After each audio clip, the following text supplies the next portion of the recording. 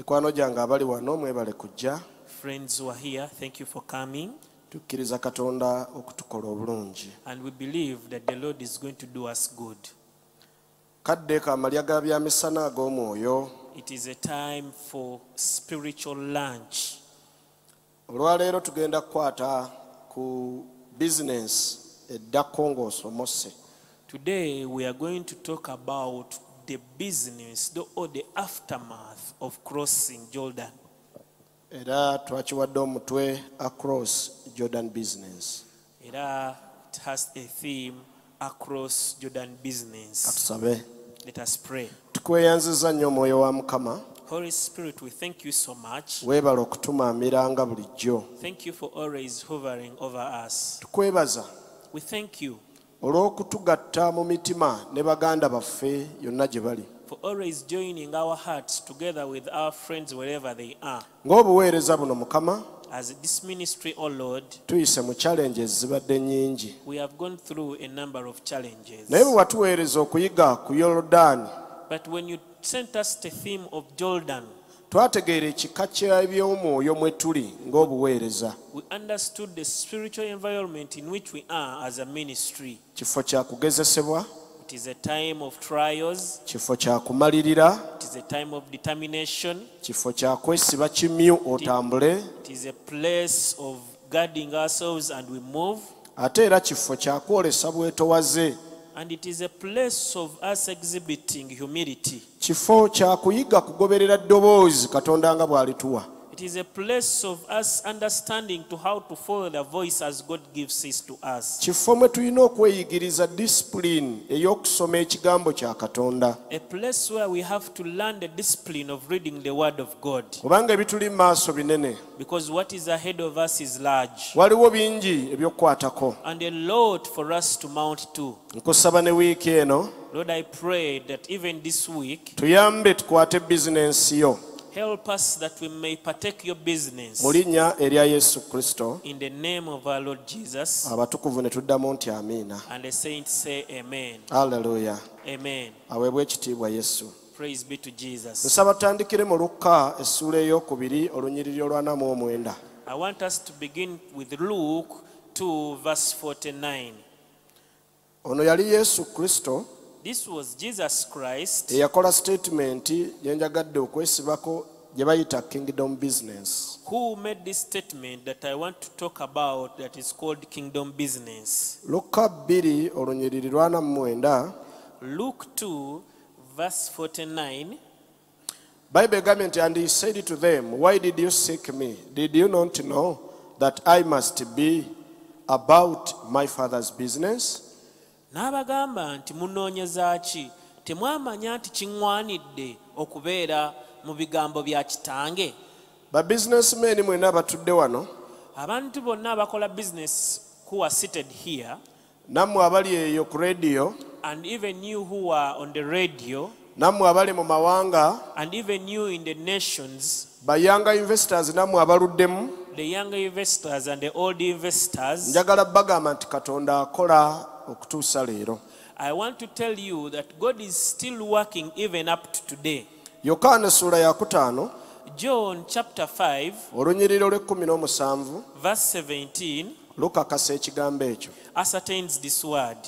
Bayibuli egambye nti but jesus answered them my father has been working until now and i have been working naye yesu n'abaddamu n'abagamba nti kitange akola okutuusa kaakano nange nkola.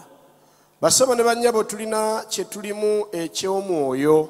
Friends ladies and gentlemen there is something spiritual which we are in. Bw'obanga amaaso go galaba if your eyes see nga n'omwoyo gwo antenas zikyasobola okupiikinga signals ez'eggulu. Whereby even your spiritual antennas can still receive the heavenly signal. Nga towuguddwa na kutabukatabuka kujja mu by'omwoyo. When you're not perverted and you don't have any confusion in the spirit. Ng'obuweereza waliwo we tuli bwe bayita yorodaani as a ministry there is a place we are at called jordan. Kafo. It is a place kaliko ebigambo ebyogera mu nsi y'omwoyo It has spiritual words that keep speaking. ebigambo byawo bikoma ku bantu sekinoomu ne famire zaabwe Those words from Jordan can touch their individual peoples and their families. eggwanga lyonna nalyo likomebwako okuyita mu kifo ekyo And even a whole nation can be impacted through that place. kale n'olwekyo ng'obuweereza So, therefore, as a ministry, kikulu nnyo okuteekayo ebirowoozo it is very important for you to pay attention. era twafuna obubaka obutukuutira okusala And we got a message that was encouraging us to cross. abasumba bazze nga boogera wano And pastors have been talking here, ne babikkula ebyama ebikwata ku jordan and they have been revealing mysteries about Jordan. nga kumpi abasajja bangi n'abakyala bakwatibwako ensonga mu bayibuli baayitako ku kifo kino whereby almost all people in the Bible that are vital passed this place. ebyamagero bingi ebyakolwa mu byafaayo by'ekkanisa ng'era biri ku kifo kino In the history of the church, many miracles that were performed have an attachment to this sumba place. sakira juzi yakola statement n'agamba nti n'obulokole bwennyini obukristaayo nabwo buzaalibwa butandikirwa ku kifo kino era yokaana yesu Last time, Pastor Sakira made a statement that said that even salvation was birthed from this place when John the Baptist was baptizing Jesus. dawudi yayitawo David passed by, olaba n'emirembe gy'abayibulayimu ne luti luti amala kusala jordani amabbali g'eri gye osanga sodoma ne gomora and even the generation of Noah, of Abraham and Lot. Lot first crossed Jordan, and the other side is where you can find Sodom and Gomorrah. kati ng'obuweereza So, as a ministry, omwoyo wa mukama ayagala tusale the Holy Spirit wants us to cross. naye ekibuuzo But the question lwaki katonda ayagala tusale? era baffe ew'oluganda gwatudda and you, as a person seated there, naawe awuliriza. And even you listening, naawe agoberera. And even you following, w'olowoozezza ku kiki katonda kyayagala tukole nga tusima- nga tusomose? Have you thought of what God requires us to do after crossing over? tulina ebintu bingi bye twetaaga okukola. We have a number of things that we need to do. ekisooka First of all, tulina abasekerezi bangi abeetaaga okuyitako. we have mockers whom we need to bypass. Bo bagamba toli kiyinza tojja kukikola For them, they are ever saying, You will never do it, it is impossible for you. yakulabira mu gaalubindi ezigamba ggwe olina kuba feeriya For them, they look at us in the goggles, in the spects of being failures. kati nga ggwe olina okukkiriza katonda And it is you to believe God, n'oyolesa obugumu for you to exhibit courage, n'oyimirira n'amaanyi and you stand with strength, n'oyita ku kifo ekyo and you cross over that place. era njogera ebigambo bino And as I speak these words, nga waliwo katonda gw'ayambaza amaanyi okusomoka there is someone God is clothing. Njogera ebigambo bino And as I speak these words, ng'eriyo omuntu mukama gwawa idiya osomoke ng'olina idiya abooluganda bino mbyogera. Ng'eriyo omuntu mukama gw'ateekako omwoyo we ng'ogenda kuba n'amaanyi ogenda kusomoka mu linnya erya yesu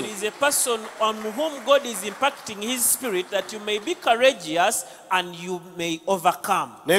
tukole esaala eno Join me as we make this prayer. mugambe nti ayi yesu Say, Oh Jesus, guno mulembe gwange this is my generation, era nnina okusomoka and I have to cross over. kati nsaba omwoyo w'omutukuvu And Lord, I pray for your, your spirit anyambe to help me nsomoke that I cross over. era nsaba omwoyo we omutukuvu And I pray to the Holy Spirit anyambe ntuukirize okwagala kwa katonda to help me to fulfill the will of God mu linnya erya yesu in the name of Jesus. ebigambo ebyo katonda abikutuuseeko May God fulfill those words unto you. aleluya Amen. yeebazibwe yesu Praise be to God. olwaleero njagala tuteeke essira Today, I want us to put the ku emphasis kigambo kye bayita capacity building on the word called capacity building. okuzimba obusobozi Capacity building. Eri gye tugenda Where we are going, tulinayo omulimu ogw'okukola we have a job and a work to do. mu mwaka guno 2022 In this year 2022, katonda alina kyayagala tukole naye God wants us to do something. naye nga, nga tumaze okitegeera But when we have first understood, tulina okuzimba kye bayita obusobozi we have to build what we call capacity. bbawaayo ekyokulabirako I'll give you an example. singa osaba mukama In case you ask God to give you a business, kakati ne bakugamba and they tell you nti omukisa guze owooluganda that there is an opportunity, brethren, twagala enkoko we want chicken, enkoko enkoko bitaano ebinyonyi ebikumi bitaano buli lunaku. We want 500 birds every day, chicken. tulina hotels uh, oba tulina hotel ne restaurants musanvu We have restaurants and hotels, seven in number. ne bagamba twagala kuwa contract otusavinge emyaka esatu non-stop And they tell you that we want to give you a three years contract whereby you supply daily.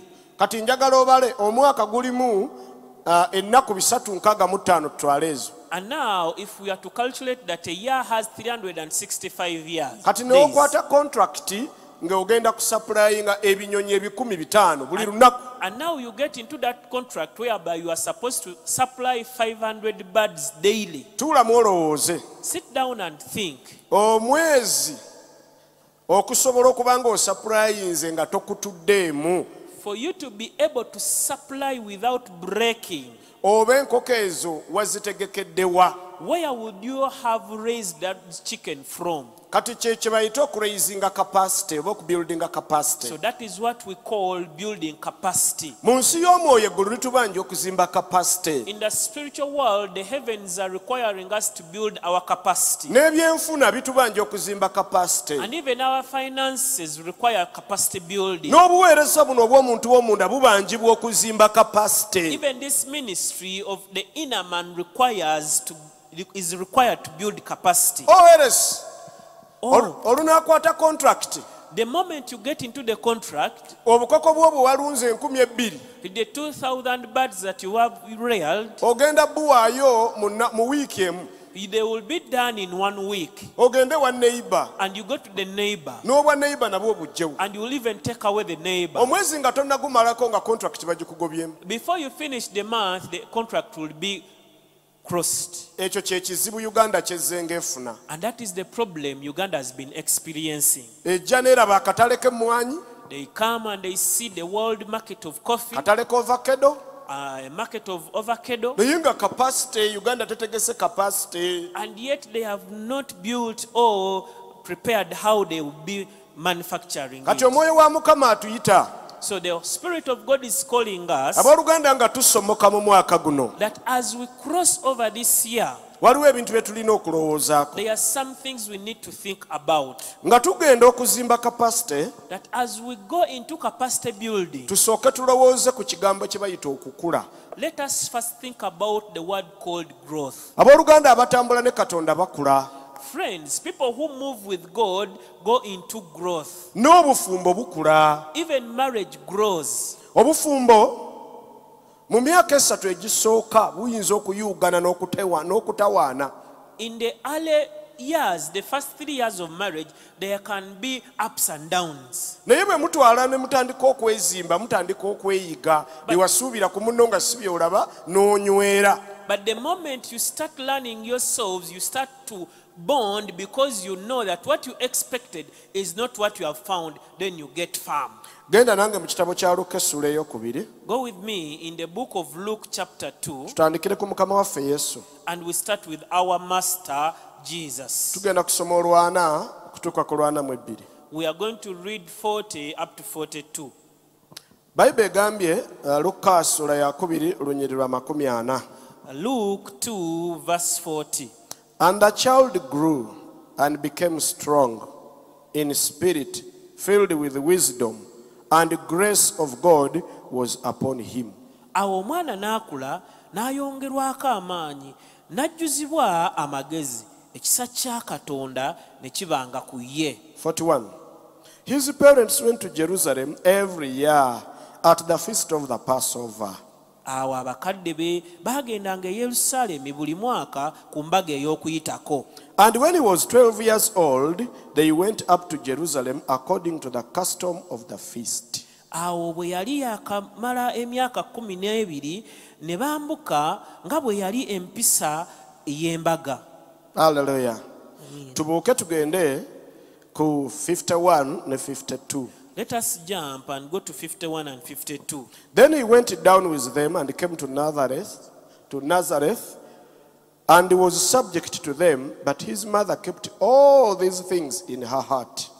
n'aserengeta nabo n'ajja e nazaaleesi n'abagonderanga nnyina ne yeekuuma ebigambo ebyo byonna mu mutima gwe 52. And Jesus increased in wisdom, stature, and in favor with God and men.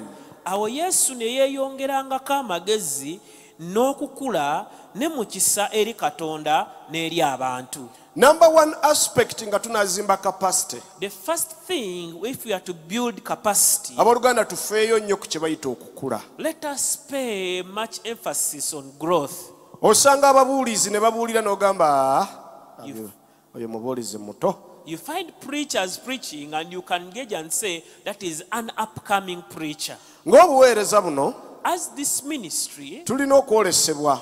we have a vision. Tulina kye twagala okutuukako. There is something we want to reach. Kwe kulaba nti omuntu w'omu buweereza buno akula is to see that a person in this ministry grows okutuuka ku kigera ekya kristo. to the full stature of Christ. kati awo twetaaga okukula mu bisaawe eby'omwoyo. In that way, we need to grow in our spiritual arenas. abooluganda nga tetunnakwata ku ssente. Be- brethren, before we get hold of money nga tetunnazimba makalina mangi. and before we build a number of flats, nga tonnaba kuwasiza ddala. even before you get married, weetaaga ekisooka okukula first of all, you need to grow. Tulabidde ku yesu. We have seen our example of yajja Jesus. alina missioni emulese ku nsi. He came with a mission here on earth, missioni yakuleetera nsi mirembe. And the mission was to bring peace upon the earth. kubanga eri mu lusuku mu lubereberye esatu Because in the garden, in Genesis chapter 3, adamu bwe yalimbibwa omusota when Adam was deceived by the serpent, ekikolimo kyajja ne kitugibwa ku nsi. a curse came and was put upon the earth, ensi n'ekolimirwa. And the earth was cursed, ne wayingira okufa. And death came in. enkolagana n'abantu eya katonda n'abantu The relationship between God and man was broken. era okuva eyo yonna okutuusa yesu lwe yajjira And from that time until when Jesus came, nga waliwo obwetaavu bw'okuzzaawo okuzimba enkolagana there was a need to rebuild the relationship. kati yesu bw'azaalibwa And when now Jesus was born, bamalayika bayimba the angels start to sing. n'ogamba olwaleero ensi efunye emirembe And they say, Peace has come upon the earth. ekisa n'emirembe n'essanyu birumbye ensi Joy, peace, and grace has come upon the earth. kubanga omulokozi azaaliddwa Because a Savior has been born. Mission eno yali yagituukiriza ng'afa ku musaalaba Jesus was to fulfill this mission when he was dying on the cross. era atwaleyo omusaayi gwe agwanjule mu tabanaka ey'omu ggulu And he was to take his blood, put it in the heavenly tabernacle. kati nga tannakikola Now, before he was to do it, yateekebwateekebwa omubiri he was prepared a body. n'atandika olugendo lwe bayita olw'okukula And he started the journey called growth. ebyawandiikibwa bitulaze. The scriptures have shown us yakulanga mu mubiri. that he grew in stature, kitegeeza bazadde be baafangayo okumuliisa n'okumunywesa n'omujjanjaba meaning that his parents cared so much to feed him and also to nourish him and to care for his health. naye n'ekisaawe eky'omwoyo But also they have the spiritual reigner. bayibega nti yeeyongerangako amagezi The Bible says that he increased in wisdom ne yeeyongerangako ekisa and he increased in grace. kati ekyo kyamuleetera okuganja feva eri katonda n'eri abantu Now, that one was a result of him getting favor before God and before people. abooluganda bino byonna tubyetaaga. Weetaaga okukula. weetaaga expansion eri physical. Era wano mu buweereza tubagamba tulina okubalansinga eky'omwoyo n'ekikwatikako. bwe twogera ku bugagga twagala obugagga obw'omwoyo n'obugagga obw'ebyenfuna.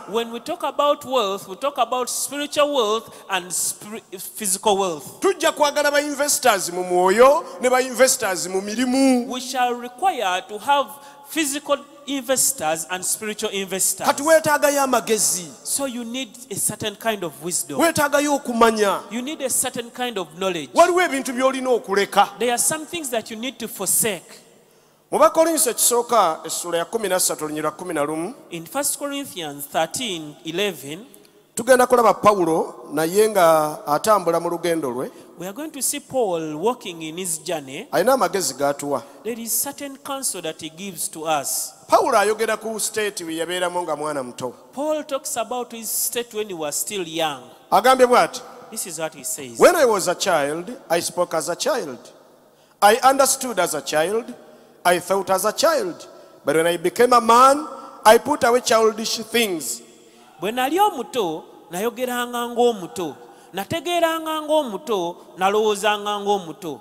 Bwe nakula ne ndeka eby'obuto. Mu lugendo lwaffe wano ku nsi eriyo siteegi kwe batagenda kunenyeza there is a stage where they will not blame you. Gye bayita siteegi ey'obuto.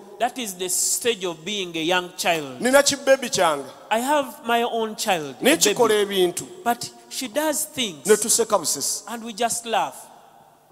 Kiyinza okuba kirya mmere she can be eating susu. and she susus.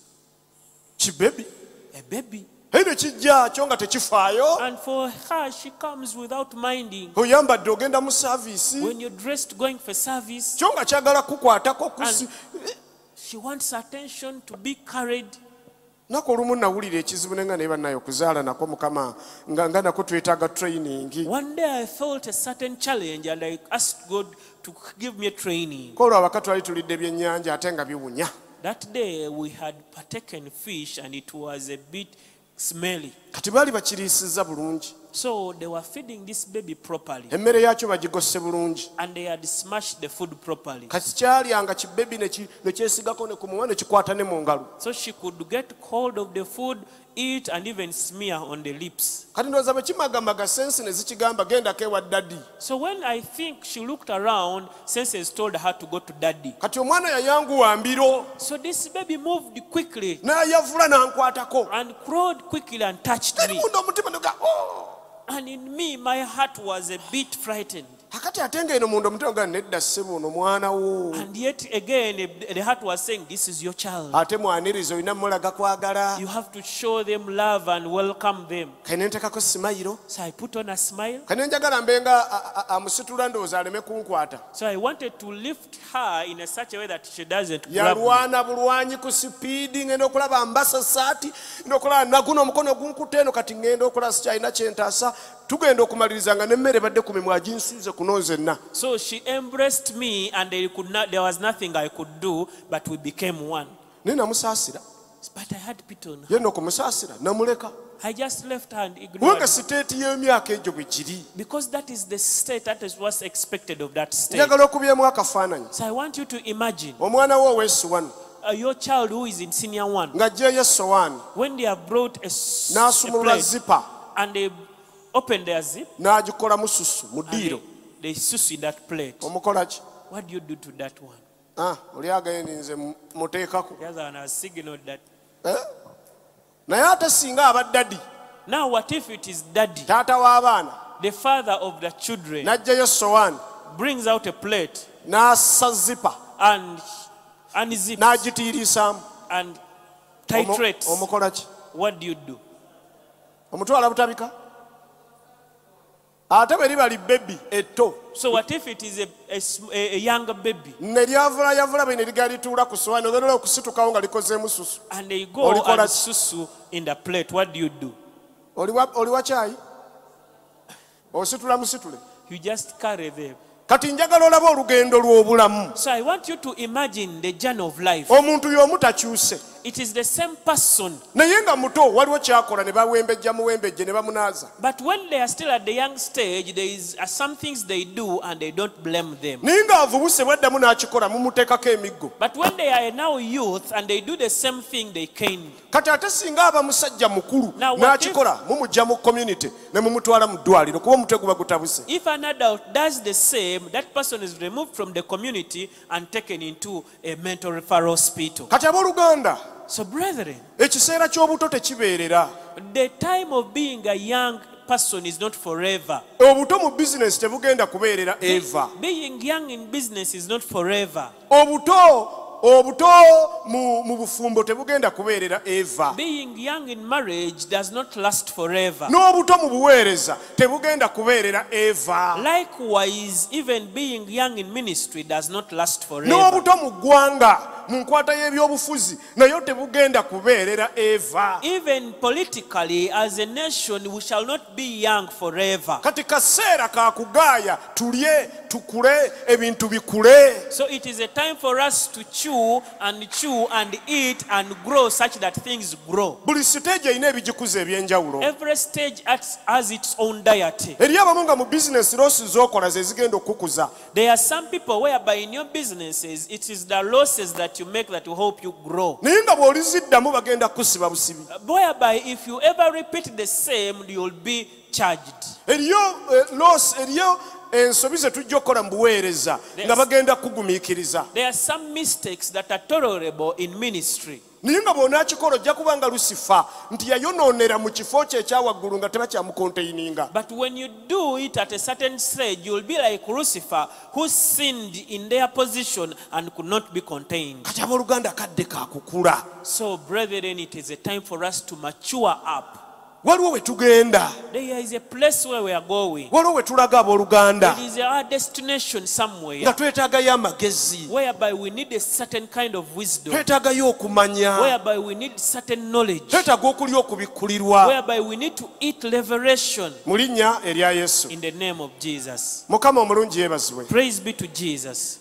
Praise be to Jesus. ne bakituuka mu eriya ya buweereza Even when it reaches the area of ministry, abantu bonna be tulaba nga balungi all the people that we admire who are good, baatandika si balungi they never began like that.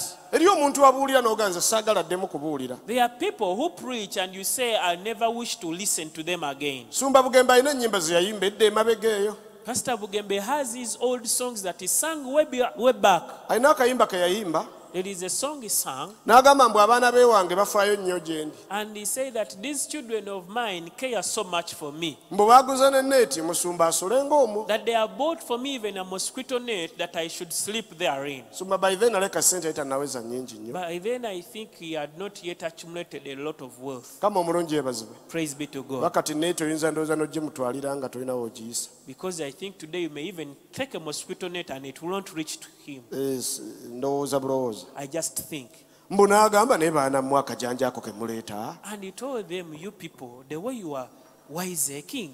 bwe king? ku luguudo When I was on the streets, ani yaleeta neeti who brought for me a mosquito net? n'ababuuza mwali ludda wanga be be ennyimba nga benyimbira beebaka. And he asked them, Where were you? By the time I started singing and people were just dozing? naye oba oyagala okukakasa nti ebintu birinnya valiyu But if you want to ascertain that things get value, genda olwaleero ewa maneja wa musumba. Leero nga toyita musumba oyita muyimbi pasita bugembe. today, if you are inviting an artist, Pastor Bugembe, you have to go through a manager. kakati olabeko kabiiru ke bayinza okukusaba And then you will see the bill they can give you. eyayimbanga nga beebaka The one who used to sing while people were dozing, kati olwalero manager yaga e musumba ono ayise genda gyali today it is the manager who tells him that this person has fulfilled our requirements, you can go. kati abooluganda twetaaga okuzimba kye bayita valiyu ku bintu byonna bye tulina So, brethren, we need to build value upon everything that we have. kati ng'obuweereza So, as a ministry, naffe tuli mu kuzimba value we are also building our value. kubanga nga tuli mu international community When we see that we are in the international community, abantu bamanyi kye basuubira ku ucc people know what they expect of UCC. kati ekyo kyakuzimba So, that is also calls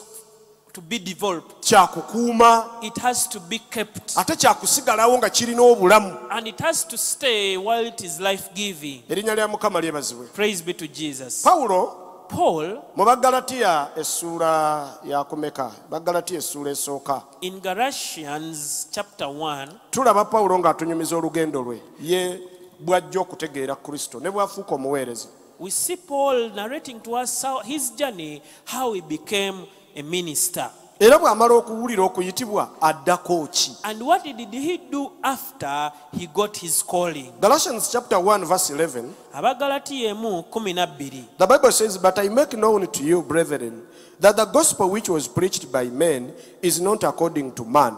Kubanga- sorry. The, the gospel which was preached by me is not according to man.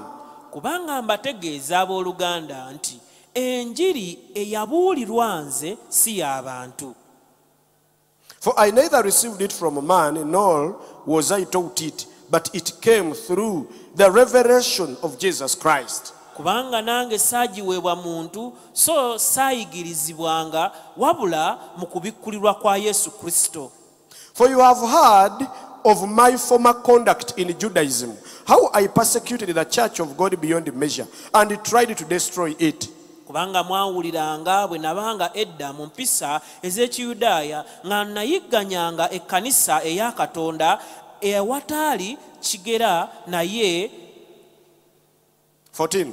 And I advanced in Judaism beyond many of my contemporaries in my own nation, being more exceedingly zealous for the traditions of my fathers. Ne mpitiranga mu kanisa ey'ekiyudaaya okusinga abangi bwe twatuula mu ggwanga lyaffe 15.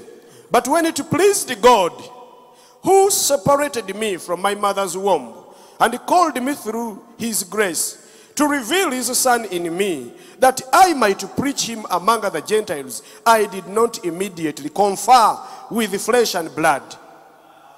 naye bwe katonda bwe yasiima eyanjawulo okuva mu lubuto lwa mmange n'ampita olw'ekisa kye okubuuliranga omwana we mu nze. Ndyoke mbabuulirenga mu mawanga amangu ago saateesa na mubiri wadde na musaayi. Pawulo waawandiikira abagalatiya by the time paul wrote the galatia yali alina ekika kya valiyu mu njiri he had a certain value in his gospel abantu gye bawulira nga pawulo ayogera. that people were listening to when paul was kati speaking yalinga addako emabega ababuulire kino kyalina yajja atya okukifuna? Yakikoppa kwani? So he was trying to explain to them how he got what he has and where did he copy it from. n'abagamba abooluganda And he told them, Brethren, kintwalidde ebbanga okweteekateeka. it has taken me time to prepare myself. kino kye nnina. This that I have kubikkulirwa okumpeereddwa mukama waffe yesu. Is a revelation from our Lord Jesus. kati 18 agamba And now, verse 18 then after three years i went up to jerusalem to see peter and remained with him 15 days. Awo waayita emyaka esatu ne nyambuka e yerusaalemi okulaba keefa ne mmala gy'ali ennaku kumi na ttaano bw'onaasoma awo tugende ku lunyiri lwa 19 but i saw none of the other apostles except james and the lord's brother naye saalaba mulala ku batume wabula yakobo muganda wa mukama waffe. Gende ku chapter 2 verse 1 then after 14 years i went up again to jerusalem with barnabas and also took titus with me. Awo oluvannyuma emyaka bwe gyayitawo kumi n'ena ne- nalinnya e yerusaalemi wamu ne balunaba ne ntwala ne tito. Mikwano gyange njagala kubagamba. Friends i want to tell you waliwo ekintu mukama kyatuteera. There is something that god is releasing unto us. Naye kitubanja okweteekateeka. But it requires us to prepare. Ninayo lesoni gye nayiga mu bulamu there is a lesson i learnt in life. Nagisoma bubi. And i learnt it in a bad way. Wegamba nagisomera wakati mu bulumi. And i learnt it amidst pain. Era sirigyerabira and i'll never forget it. Nakiyiga i learnt it nti katonda buli lwateekateeka okwanjula that whenever God is preparing to introduce you somewhere, gwe nga teweeteeseteese. but when you yourself have not prepared yourself, ng'ebiseera byo bituuse. whereby your time has reached, naye gwe nga toteeseteese mutima gwo but when you've not prepared your heart, ekiddako kaba kabenje what comes next is an accident. abantu bakwaniriza mu ssanyu People welcome you with gladness, naye otomera okutomera okunene but you know a bad kind of colliding. obeera n'akabenje katugambe mu by'omwoyo oba mu byenfuna awantu wonna kasita katonda ali kuteekateeka kyentegeeza ng'ategese okwanjula nga gwe teweetegese You will always have that confusion, that accident, whenever God has prepared to introduce you somewhere when you are unprepared. mukama ategese otwanjula eri abantu God has prepared that He introduces us to people. mukama ategese otwanjula eri ebitongole God has prepared to connect us with organizations. mukama ategese otwanjula eri abantu ab'obuvunaanyizibwa God has a plan to introduce to us to responsible people. katonda ategese okwanjula eri ranks ez'enjawulo God has prepared and planned to introduce you to vari- various ranks. naye teri kiswaza But there is nothing as a shaming gw'okwanjulwa. for you to be nga introduced kalakita wayizi tewategekebwa. whereby you are not prepared character wise. abooluganda teri kiswaza. There is nothing as nga shameful katonda kuwa mafuta gagenda kukyusa ggwanga. as God giving you the anointing to change a whole nation naye akagoyo k'emmere ne kakusuula. and yet a nozzle of food brings you down. abooluganda teri kiswaza There is nothing as shameful nga katonda okukuwa eby'amaanyi byonna nga buli akulaba alaba amaanyi katonda as God giving you power and anointing whereby everyone sees that God has anointed you. naye olw'obuteeteekateeka eri munda But because of unpreparedness within, eri munda inside you, n'ogenda weesala engwala you go and score your own self. Mukama yeebazibwe Praise be to God. katonda omulungi yeebazibwe Praise be to God. eggulu litubanja okwetegeka The heavens are demanding preparations from us. nga tweteekateeka As we prepare ourselves, kino nakyo kiwandiike write this too. get the big, the big picture the bigger picture Funa ekifaananyi ekinene. kifune mu bulamba Get the bigger picture.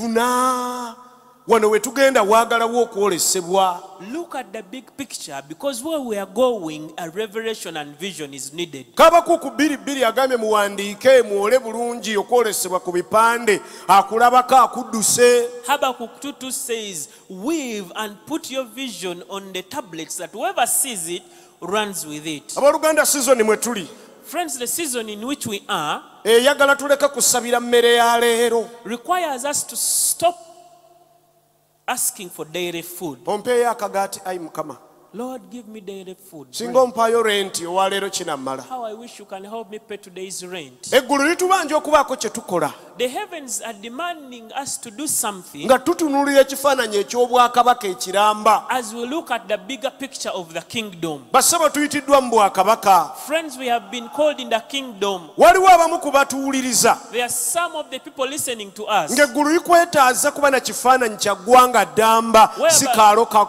si kaalo bwalo kw'osula whereby the heavens require you to have a vision for the whole nation, not just the village where you reside. mu zabbuli essula ey'okubiri In Psalms chapter 2, bayibuli etukubiriza okusaba amawanga the Bible commands us to ask for nations. bayibuli egambye mu The Bible said that ask of nations of me, nange ndigabawo okubeera obusika bwammwe and I will give them to you for an inheritance. zabbuli ssula yakubiri lunyiri lwa munaana Psalms 2, verse 8. ask of me and i'll give you the nations for your inheritance. And the ends of the earth for your possession. Onsabe nze nange ndikuwa amawanga okubeera obusika bwo n'ensonda z'ensi okubeera amatwale go. Eggulu linoonyayo abasajja the heavens are looking out for men abeeteeseteese ne kapasite who are ready when they have built their capacity. Egenda okuwanirira kye bayita the bigger picture. That is going to sustain what is called a bigger picture. Abooluganda friends. Eggulu lirinayo business ennene. Heavens have a bigger business. That it wants that the brethren take it on. Whereby this business will benefit many more other brethren. Kadde. It is a time for us to prepare ourselves. Hallelujah. Praise be to God.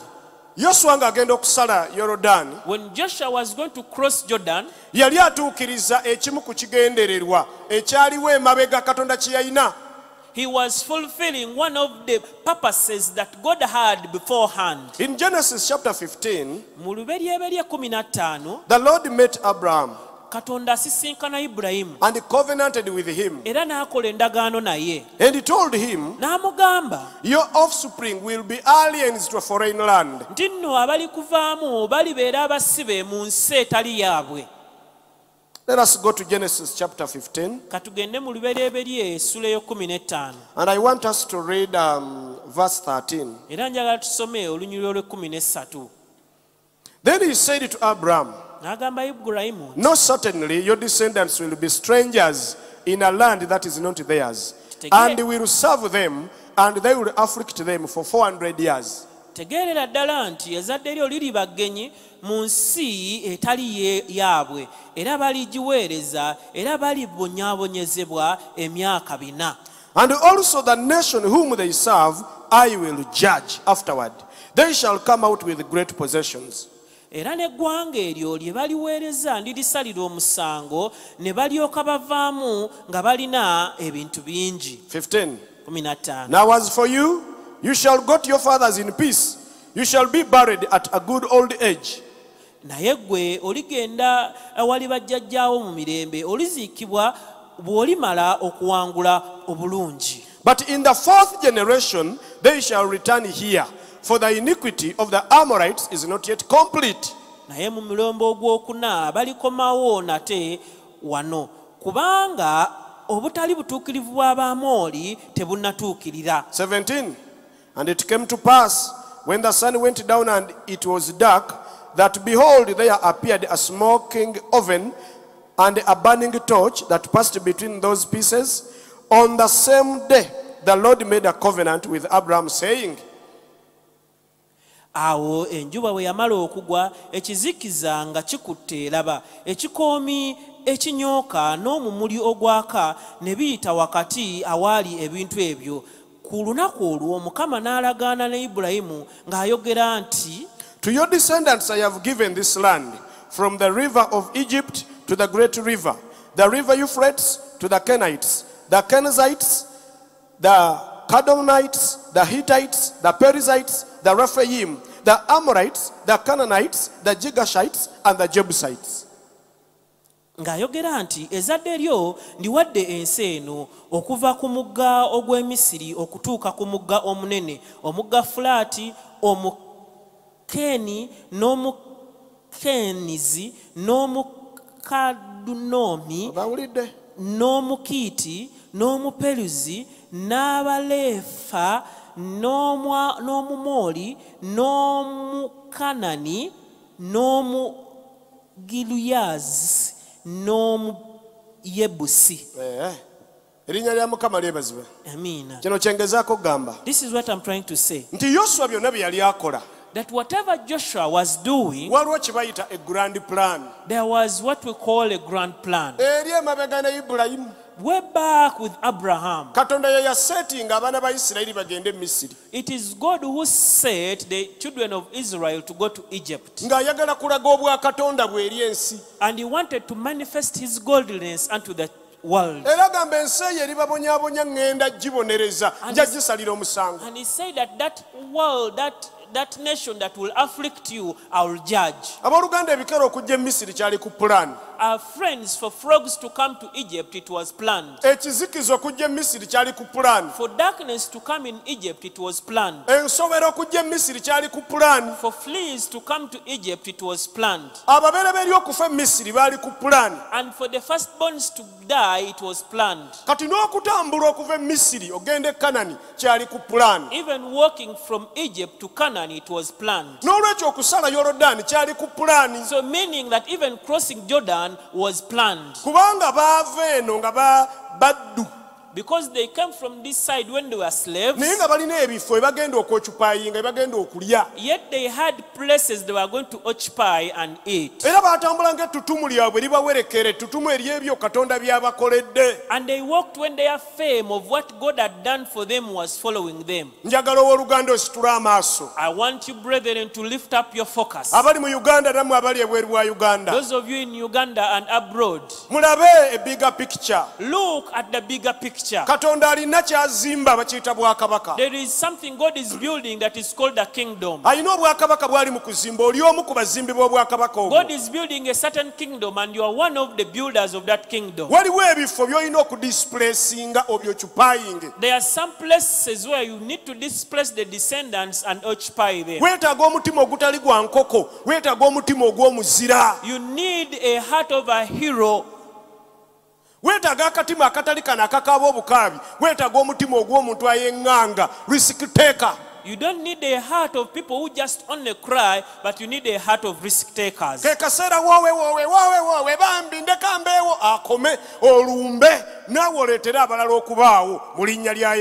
is time for crying to stop, and you go and offer out what you need, and you even help others to survive. gano amawanga baali tebagenda gajjawo nga baseka They could not overtake these nations when they are just laughing. katonda akuyise gwe ne bizinensi yeegaziwe naye togenda kugaziwa na banneiba bo nga tolina aggressiveness gy'otaddewo God has called you and your business to expand, but it will not happen. Your territories will not happen to expand when you've not put a certain fight. ke kaseera twongezeeyokko ku lutalo mu kusaba It is time for us to extend the battle in prayer. Listen to this kwaleetera abaana ba isirayiri okweyongeza emyaka asatu gye bataalina ku pulaani ya katonda.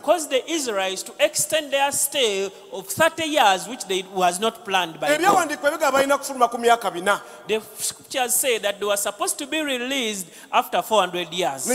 kiragibwa bulungi nti baamala emyaka bina mu asatu gyamala kuggwako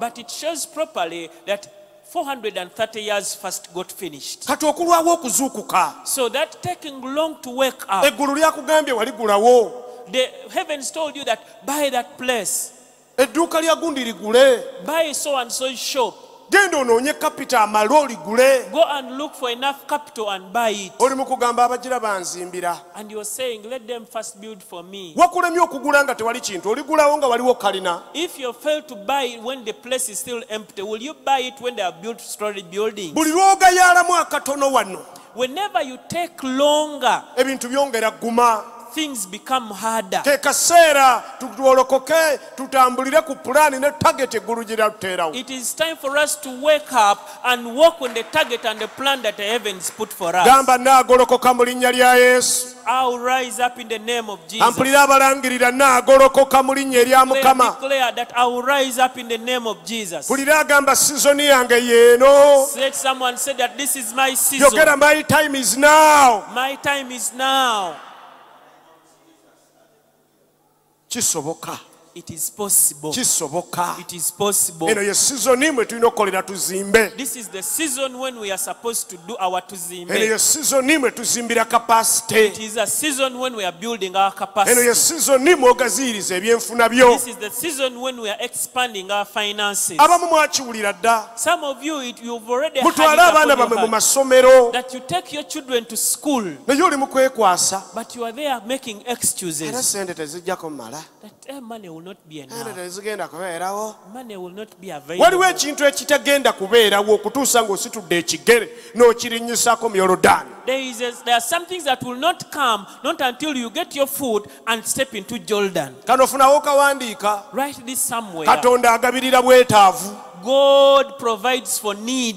agabirira abalina biliyoni yagabirira gwe ayagala olukumi The one who provides for those who have billions is the one who provides for you who has nakano 1,000. kawandiike And also write this katonda ajjuza buli veso gye tumuleetera God fills up every vessel that we bring to Him. bw'oleeta tampeko When you bring just a cup, ejjula it can be filled. kiringa bw'ogenda ku victoria It is like when you go to Lake Victoria. abamu ne batwala pipa Some take drums, abalala ne batwala ekimotoka ekinywa amazzi some take water vessels, gwe n'otwala akasaanikira ka peeni and for you, you take a pen of a lid of a pen. mwenna mugenda kusenera bijjule All of you will draw water to capacity. kati obwetaavu bw'oyanjala mu maaso ga mukama ajja bumiitinga So the need that you present before God will be met. kubanga abafiripi Because Philippians 4:19 bayibuli egambye katonda anaagabirira obwetaavu bwammwe ng'obugagga bwe buli mu kitiibwa kye The Bible says that God will supply your needs according to his riches in glory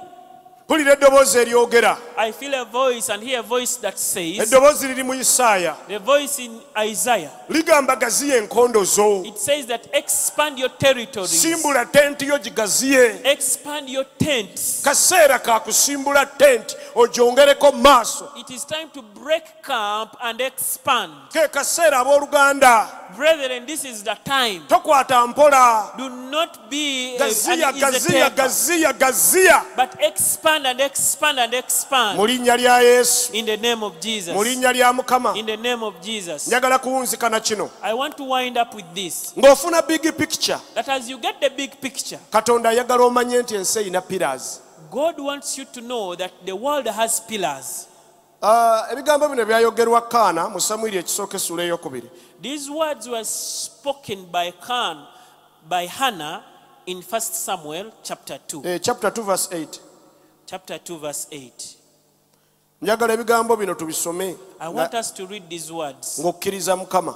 As we believe God, katonda akikole ku bulamu bwo. that God will do it upon your life. listen to verse 8 olunyiri olw'omunaana. He raises the poor from the dust ayimusa abaavu okubajja mu nfuufu. and he lifts the beggar from the ash heap asitula abeetaaga okubajja mu lubungo. to set them among princes. Okubatuuza wamu n'abalangira and to make them inherit the throne of glory olwo basikire entebe some people God is lifting. You may not understand it, but God is lifting some people. They are those who are weak. God is lifting you to become a strong person. There is one who was a beggar. God is lifting you to become a provider. waliwo abadde anyoomebwa. Katonda akuyimusa okufuuka omuntu oyeebuuzibwako ow'ekitiibwa.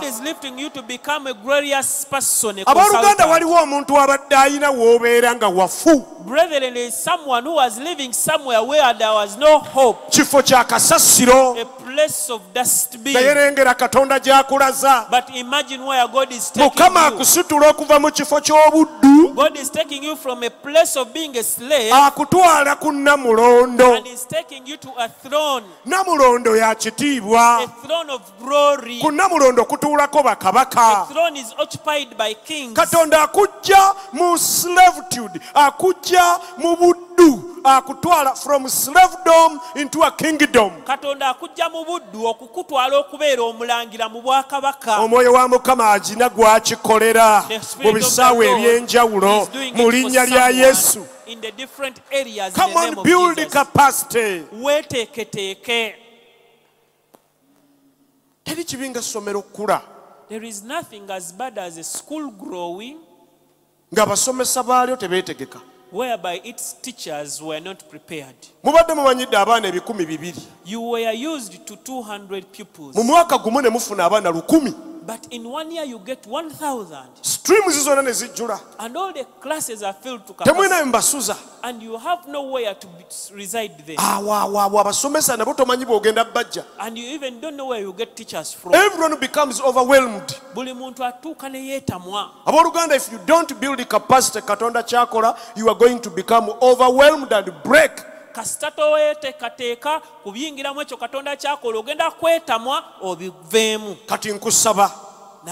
Togenda kubivaamu. that you will not give up. Omwoyo wa mukama anaakuyamba the holy spirit will help you. Tumaleyo olunyiriri olwo. Let us finish this for the pillars of the earth are lords kubanga empagi z'ensi za mukama and he has set the world upon them. era yateeka ebintu byonna okwo. Njagala tulowooze wano i want us to think the here. world is on pillars. Ensi eri ku mpaji. Mwe katonda bawadde the bigger dream. To you who have the bigger dream from god. Abasazeewo okutwala the bigger picture. Those of you who are looking at the bigger picture. Kino mukimanye understand this. The world rests on pillars. Ensi etuula ku mpagi. And if you want to touch the world era wowe oyagala okukwata ku nsi. touch these pillars. Kwata ku mpagi zino. Avoid these pillars. Era weewala empagi you will not touch the world. Olwo tojja kukoma ku nsi. So nga katonda atufulumya. Yet when god is releasing us, ayagala tubeere ne influence mu nsi. He wants us to have influence over the world. Haleluya amen. Waliwo abatudde wano. There are people seated here. Waliwo nammwe abalaba eyo. Even those ensi yalinda.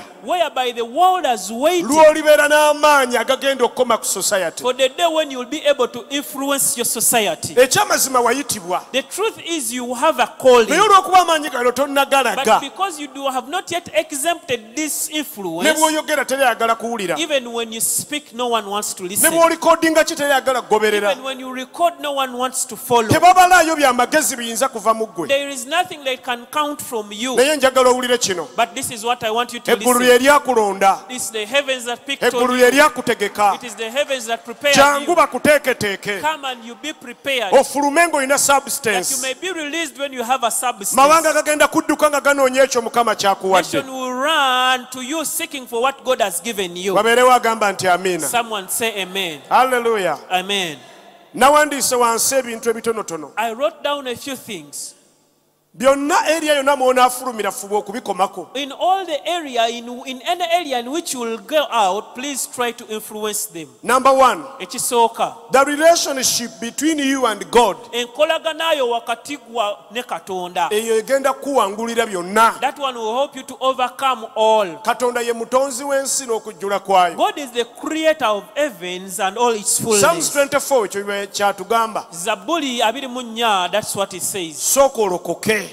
first get saved. Matthew chapter 6 verse 33 matayo 6 the bible says seek first the kingdom of god. Bayibuli egamba nti munoonye obwakabaka bwa katonda. Musooke kunoonya obwakabaka bwa katonda and his righteousness. N'obutuukirivu bwe. And all these other things shall be added unto you. ebisigadde byonna kati binaabwongerwangako sooka onoonye obwakabaka. So first seek for the kingdom. Sooka ozimbe enkolaganayo ne mukama. First build your relationship with god. Ebintu birijja tolifa. That even when things wealth come you will not obugagga ne bwe bulijja oliba oli mugeme tojja kusavuwala. And even when wealth come you will be immunized and you will not get fatty. Ojja kuba mugagga ng'ate bw'oyingira eggulu. You will be rich what when you are entering heaven nga mukama omulina enkolaganayo ogirina naye. when you have your relationship with god ekyokubiri secondly economy.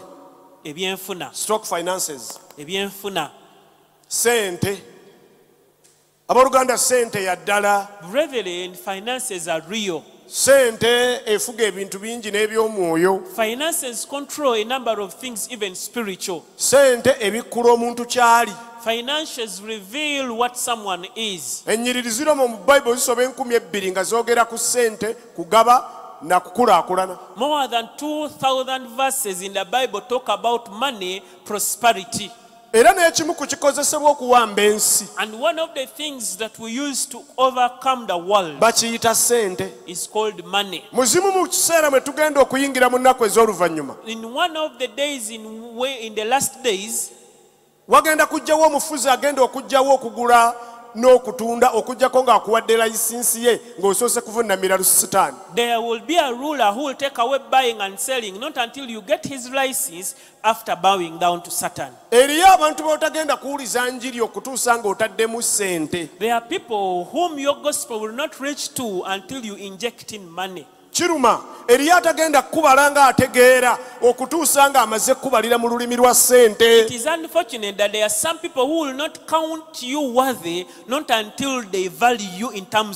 Kati abooluganda n'ekisaawe ekya ssente temukireka.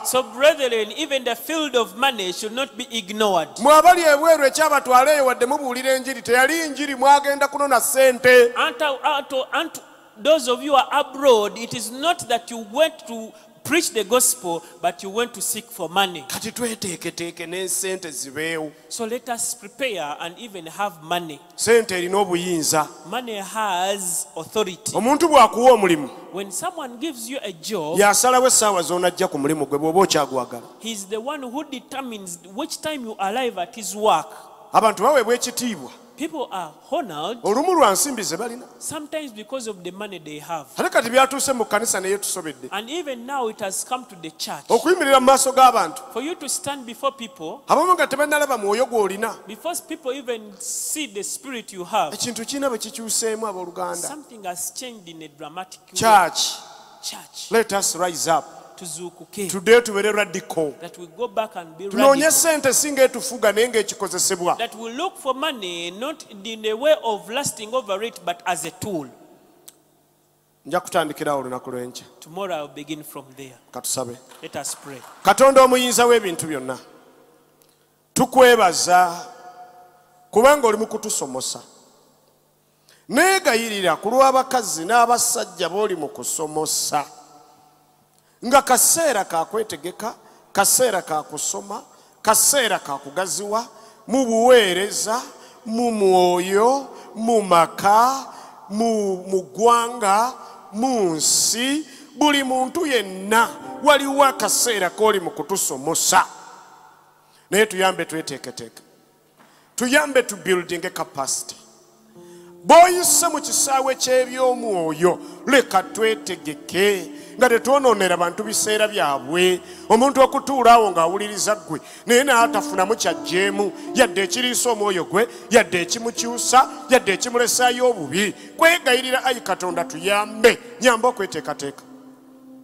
Kwegayirira mukama manyi oguddewo oluggi olw'emirimu eminene egigenda okukolwa mu nnyumba mu baana b'ennyumba mu baana b'obwakabaka nkwegayirira. Leka tuyimirire leka tulabe ekisa leka tuwangule leka tubotole leka tubotole leka tubotole. Nsabira omukazi nsabira omusajja amaanyi ga katonda agayitibwa amangi gamuyambe mu linnya erisinga amannya gonna erya kristo yesu mwana wa katonda omulamu. Amen. Amen. Mukama abawe omukisa. May God bless you. kambazeeyo wakateeta bonulayini mwasuubiziddwa ebibuuzo Amina, Amina. Uh, Chisache Goretha agamba, my spirit moves a lot when I'm asleep. But I always forget the dreams. At sometimes they half. I need some help musumba. Ekito ekibuuzo bwe kiri lwaki agamba my spirit moves a lot nange simanyi kati simanyi oba kyayita spirit kye spirit oba bwe yeeraba nga atambula ye nalowooza nti spirit etambula. Kati simanyi oba mwanyinaffe spirit wagiraba ddi nga etambula ah, ekola etya? Naye oba ogamba nti ofuna ebirooto ng'ogenda mu bifo bingi. Ndowooza alootaloota nnyo ebifo bingi bingi. Eh, naye ate nga tebiggwayo byaloota ekyokukola saba katonda agenda kukuyamba naye nange kankusabire. Ye goleti Eggoleti. Kitange nsabira goleti oyo mu linnya lya mukama. Ebirooto bye biggweyo n'ekirala ategeere byaloota n'ekyokusatu abeeko wa concentratinga mu linnya lya yesu. Amiina. Anaabuuza praise god musumba. Uh, how are you doing? And we love you. And we thank god for you in john, john 14 16 sikutegedde. Ambuuzaako. Agambye praise god. My question is how are you doing? And we love you so much. Thank god for you in jesus name. Eh, hey. amiina Amiina. nange wamma weebale nnyo. Weebale kunjagala gwe ssebo kuweerezayo kalaavu message saawa eno hey. Eh. nantu memorini abuuza nti why, do, why doesn't women cover their heads yet? 1 corinthians 11 10 says that we should cover our heads for so- the angels. nsonga ya buwangwa bwa njawulo. Waliwo ebimu ebyayogerwanga nga bikwata ku buwangwa nebibayo ebimu ebyogeddwa nga biri universal. Kati kweyo ensonga yali ya society sikitegedde musumba singa obadde obeera mu iraaka enfuufu gyefuumuuka Mm. obulengero oba olina okwebikkako. Naye ate nze ndabanga muno kino ekyawandiikibwa baali tebeebikkako kwono n'abagamba mwebikke. Aha. kakati eyo yereva esooka nti obuwangwa obwa omanyi waliwo ebintu byetuyize olwa society nga kikukuuma bukuumi. Kati nebayo nekyemuyiga nga bwe mulina okukitwala ngaempisa yammwe okugeza golowooza abazungu bafukamira. Aa nedda. Kati singa okufukamira Pawulo- mu kusaba mu Ah, kusinza ah, mu ku- omusajja omukyala ngaafukamirira omwami. Ah, ekyo tekiri kati singa pawulo abadde awandiikira baganda yandibadde abakuutira empisa yandibadde abagamba atya mufukamirenga. Kati tulowooze nti kyayogedde nti nomufukamirenga n'abazungu nabo kigende kibakwate? Kati endowooza yange bwetyo bweri ku nsonga eyo nti ebimu mu bayibuli mulimu ebimu nga byali universal nebayo ebimu nga byali kalico Mm. Eh, kati ekitegeeza kino ekyokubikka ku nviiri ffe tekitukwatako. Bw'owulira okubikkako bikka bw'owulira obutabikka tambula. Tekirina nnyo wekitukwatira tekirina nnyo wekitukoseza tekigenda kujjako mwoyo tekigenda kwongera mwoyo. Ewaawo amiina amiina so nantu memorini ndowooza ekibuuzo musumba akizzeemu bulungi nti ebimu byali bya buwanga. Resite mwana wa yesu agamba praise god musumba kasozi. Tukwagala nnyo diya bw'oloota ekirooto buli musumba n'akivunula mu ngeri ndala okola otya kyokola ofunayo omu gwoba weesiga kubanga n'abasawo baba bangi. Bwe tugenda olwale nga fena tulina malaria bwe tugenda ku basawo ab'enjawulo bayinza okuprescribinga ebika by'eddagala eby'enjawulo. Yes. Eh, kati ekizibu kwe kugamba nti kammireko wano ekitundu mireko ne wano mireko ne wano mireko ne wano gwoba weetabula. Oba waliwo enjogera egamba nti too many cooks spoil the soup. Abafumbi abangi buli omu alina enfumba eyiye kati biyinza okutabulattabula so ambuuzizza nkole nte so sikiva kuki Eh, Kati a- nandigambye a- abeera funa- n'ekirooto kimu Eh. n'akibuuza abasumba buli omu n'amuwa ngeri ye. Kati ekyo kyaba akendeeza eitha abuuze nga omwoyo mutukuvu oba afuneyo omusumba omu gwanaabuuza abeerenga n'oyo. Musumba nze nange nga nze. Era mba njagala mpulire musumba kasozi kyaŋŋambye ne musumba denis kyanaŋŋamba ku kirooto kyange. Ekyo nga kizibu okukendeeza. Eh, kati bwonaaleetera musumba denisa ekirooto ky'engatto? Tinaloose engatto ya yesu ajja kukuza ku bayibuli ajja kugamba kale ebyengatto yo kati bikwatirako wa? Bigenda kugasa ki? Sooka otereeza ensonga eno. Ajja naye nga kyagamba si kikyamu naye mu layini ye nga bwona agoberera kyagamba wali oba ojja kutuuka naye ku kyewabadde oyagala. Kati bwona agatta ono n'ogatta n'oli n'ogatta n'oli n'ogatta n'oli no- nawulidde abeegini bakivunudde bati abeegini bakivunudde bati oba ogenda kutomera. Kati okwewala akavuyo ako funako woonywerera kati ete e- ewammwe bwe mwafumbanga emmere ne neiba bwe bafumbanga naye mmwe temwakula. Bali Eh, ate awo eyo ate gyenyinyonnyola esinze. Eh, funayo woolya wamu. Naye woolya wamu otereere. Ojja kukula. Eh, ojja kukula. Ted busima agamba what does it mean when you dream when pregnant and yet you're not seeing anyone? Aloota alina olubuto naye ate ne bwakirowoozaako eno mu buli bwo talinayo yadde amusiyaako kaŋŋambe bwe ntyo kyangeri bbiri. Kiba kitegeeza alina kye yeetisse. Singa singa teyeegomba manyi waliwo ebintu byoba nga olaba nnyo ab'embuto naawe ne weeraba nga oli lubuto kati ebi- ebirooto byenzivuunula si bye bya experience eza bulijjo. Eh, naye ndi ku birooto nga ddala spiritually kizze naye nga kirina kye nga tekivudde mu kuba nti wabaddeko ne antuwo mu ddwaliro ali lubuto waliwo gwe bakukubidde bannanga abaana eno gundi afuna olubuto gundi n'afuna olubuto gundi nga endowooza yejjuddemu bambuto Eh, oba oli awo naawe nga weeraba nga ofumbiddwa naawe ne weeraba eh. nga olifuna olubuto? No- n'olukwata nako okirowooza muli. akaana kange kali bakatya bambi. Oba ndeka walinnya ki awo kyangu nnyo okufuna lubuto lwa lubuto Ki- kirooto kya lubuto. Kiba kirooto. Eh, naye kati singa ekirooto kibadde spiritual. Kyanditegeeza ebintu ebyo. Bibiri. naye njagala abuuze omwoyo omutukuvu. Namba one yandyetikka olubuto olw'obubi. Oba olubuto olw'obulungi. Waliwo kyofumba eki- kyeweetisse Eh, saawa yonna ogenda genda kizaala. Eitha nga kibi Eh.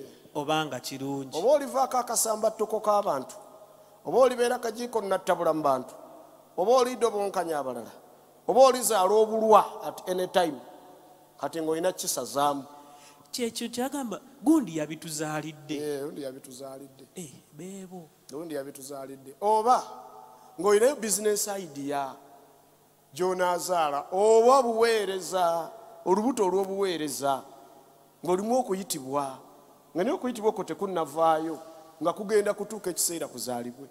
Lwaki simwawuliddeemu siwulidde bulungi environment yabadde mu kirooto kye. Eh, Eh, ate nange siri mu mwoyo nnyo nti nzuuno wano ka- kati kiyaloose nkonekitinzeeyo oluganda sikonekitiinzeeyo eh, musumba ate ekyolubuto nga kinyuma. Kati oba tugendeko alukuulamu atya we luba lubi? Oba aluliisa atya? Tunaagenda eyo tunaavaayo. Omulabirizi yatugamba nga luwe ekirowoozo kiweereze ekkerenda ng'agamba eno nga bamanyi okugyamu embuto n'ekirowoozo eky'obukaba kiweereze ekigambo kya katonda kikikuulemu. Kati oli bw'aba ategeka kukola, kukola bubi ng'oba oli awo mubi ayagala kukozesa nga kikozesebwa kya bubi gamba nedda kyawandiikibwa nze ndi- veso ndi kibya mukama wange kyalina okukozesa nina okwenazaako empitambi nina okwejjako ebbonda sigenda kugoberera ebyo. Akisazaamu naye nagoberera ekkuba ery'obutuukirivu. Mikono gyange ginaweereza mukama. Kamwa kange kanayogera amatendo n'okubuulira enjiri. Nesaala togimaze? Oba ogimaze? Amiina amiina. Obudde buweddeyo tujja kukwatayo bibiri byokka.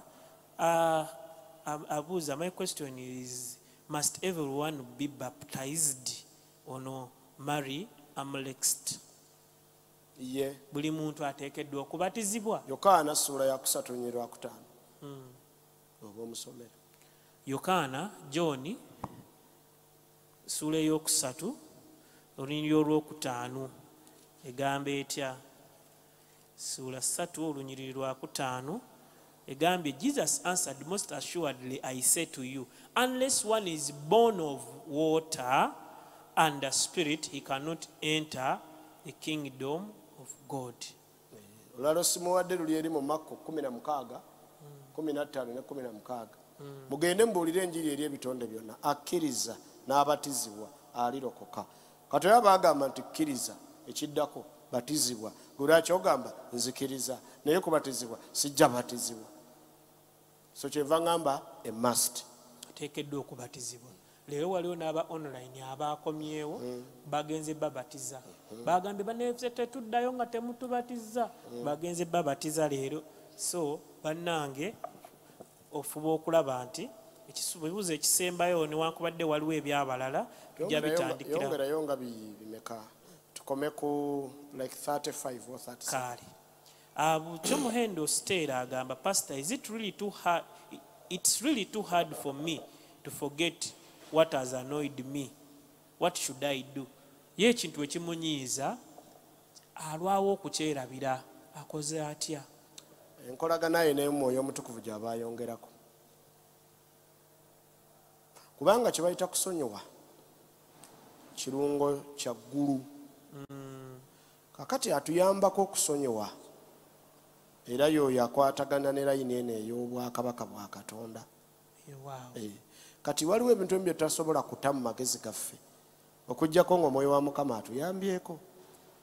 Nga tosobola nga bw'okirowoozaako ggwe nti osonyiwe olabira ddala nga tekisoboka. Kati mu ngeri eyo oba olina kweyongera nkolagana n'omwoyo omutukuvu. Akuyingire gyakoma okubeeramu ojja kulaba nga ebimu ebitali bya bwakatonda bitandika okugenda bivaawo. Naye musumba waliwo omuntu akunyiiza n'ogamba mukama nze njagala mukukwasa gwoba omukolako? Awo mba nsonyiye. Nti oba omugamba amukoleko ki? Nga njagala yaba amusasula. Amukusa- amukusabuliremu oluyi. Kubanga oluyi lwa- yesu wakirira oluba lutukuvu. Abamu naye basoma ng'aluwuliddewo n'ekyawandiikibwa kigamba nti mukama omuntu ono akola obulungi akola obubi omukola bulungi omukumira amanda ku mutwe ng'obulungi bwakola abugumiikiriza naye ng'amanyi naye nange mukumira amandako ki? Eh. Ng'akola obulungi olwoli buno afunemu abukola obubi. obulungi oli akumirwa amanda ku mutwe. Naawe toba wa katonda. Musumba.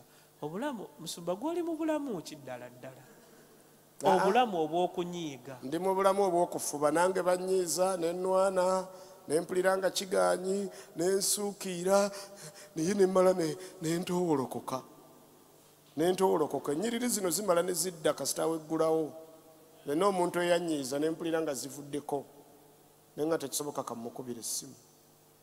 Nga nga tokuba. Tokuba. Kintu ky'okunyiiza bannaye abatunyiiza banne mulekero tunyiiza kubanga Ah, kyo si kya- Eh, ah, musumba waliwo omuntu ddala ddala okunyiiga tekugenda kukoma nga tukyaliwo wano. Era ebinyiiza byo tubirinde katwegeme bwegemi. Byebinyiiza tugenda kuba nabyo eva. Kati ono ayongereko ku nkolagana ye n'omwoyo omutukuvu. Yajja omuyamba mu kaseera okusonyiwa omwoyo omutukuvu yatuyamba. Eh, waliwo leva esooka n'omanya nti omuntu bw'otasonyiwa naawe ekitaawo ali mu ggulu tagenda kusonyiwa. Kusonyiwa. ekyo oba okimanyi ye levo ya knowledge esooka. Kati okuteeka ekyo mu nkola eriyo omuntu oli yabuuza mu debate yali eri nti kyatteeka nti buli asonyiwa yeerabira? Eh, wamma sooka okyogere oli oba nga- onaagambye alwawo okwerabira? Olinga nga kyatteeka buli asonyiwa yeerabira?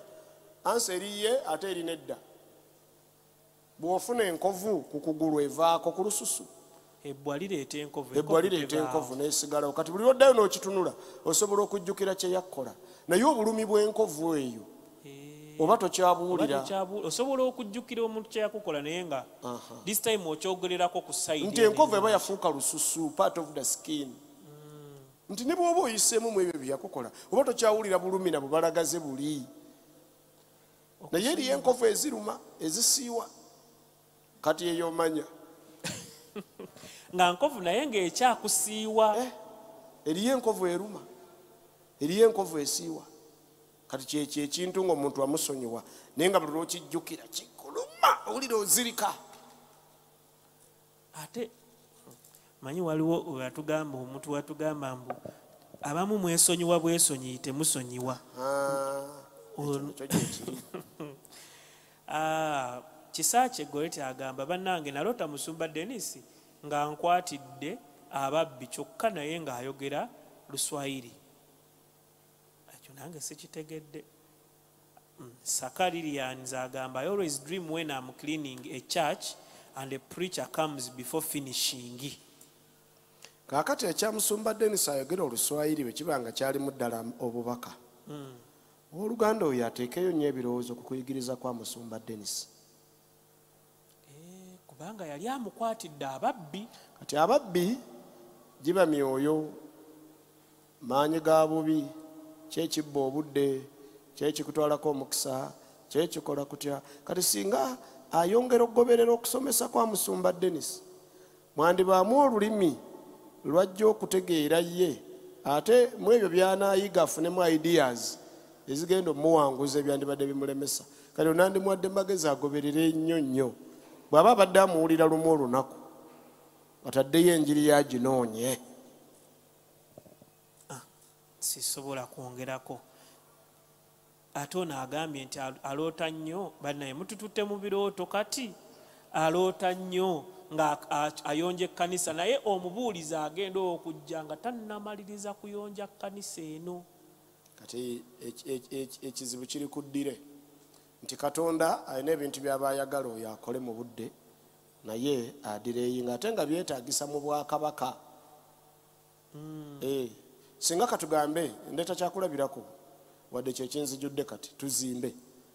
Nga omuntu omanyi nti ekifo twetaaga tukikoleko mangu. Kati ngaomuti gwo olina okugutema tuzimbe mangu. Abantu batuule wansi abantu bakatonda nenjiri ebuulirwe. Naye gwe alina okukola ekyo nogamba nja kikola nga wayise emyezi ena. Oba okikoze naye oba oli leeti. Eh, kati omuwooluganda oyo n'abalala bafaanana bwe batyo waliwo omwoyo gw'okukeerewa? Naddala mu bintu by'obwakatonda ate kiba kigenda ku afekitinga okuyitibwa n'ebirabo ebiri mu ndaye yes. Eh, kati alina okko ekigambo bw'okiwulidde tolinda lwankya genda okikole. Eh, kuba ebintu bikyuka. Bikyuka.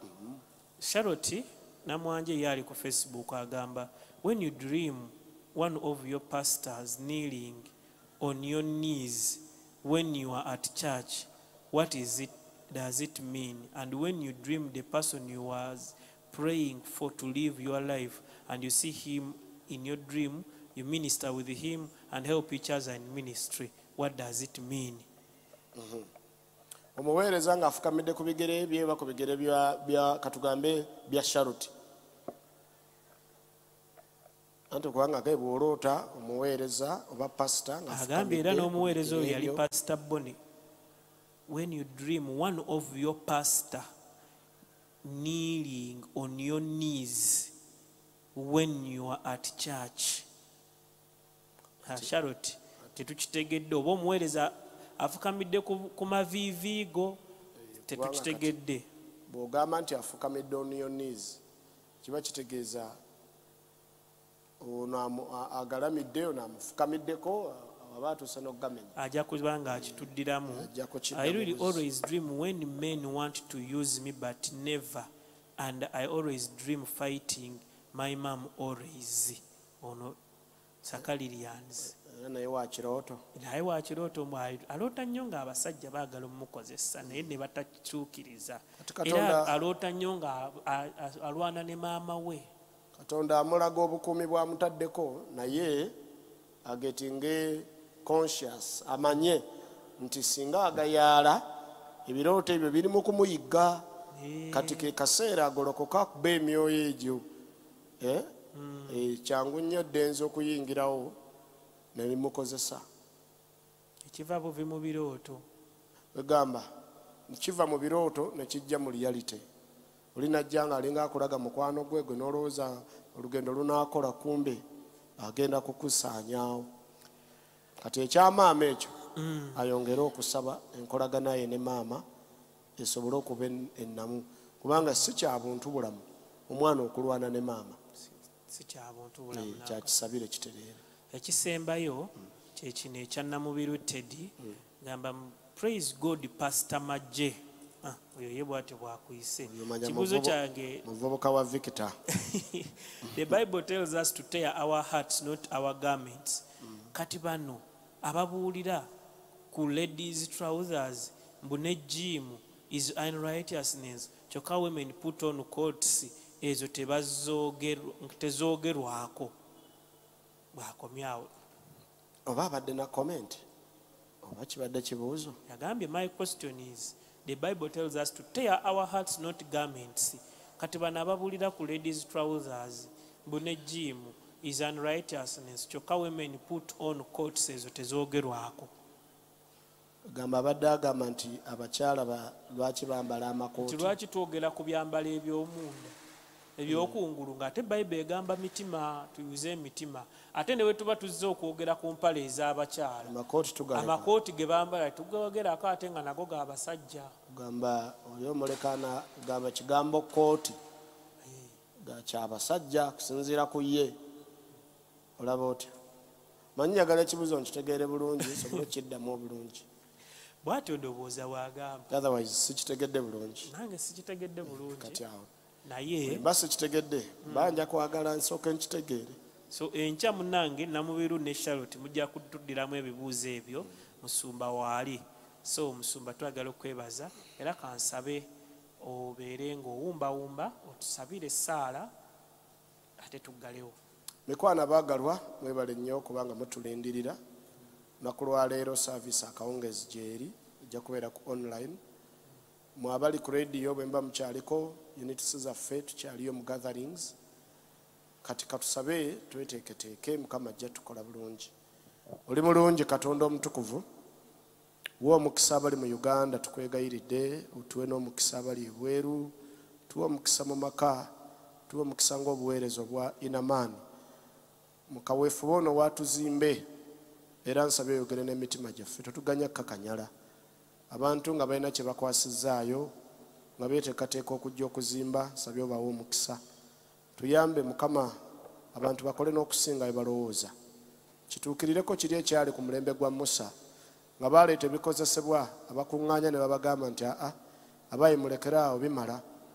Leka eno biliyoni emu mu 1.3 biliyoni biliyoni emu mu obukadde ebisatu leka zijje ayi mukama ozigabirire ziggweyo ate era nga kino si kyekisoose ozenga otukolera ebintu bingi bwote bwe watukolera ttaka lyaffe era bwote bwojja otuzimba ayi mukama.